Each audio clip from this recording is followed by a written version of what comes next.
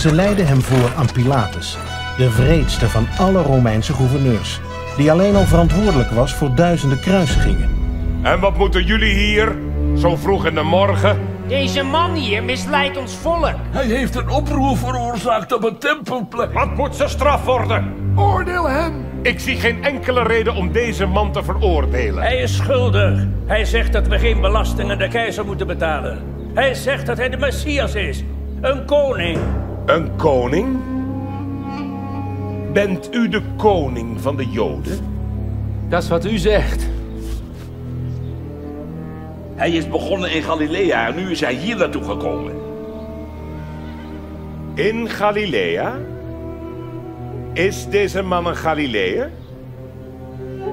In dat geval moet Herodes het maar afhandelen. Herodes is toch in Jeruzalem? Breng hem naar Herodes.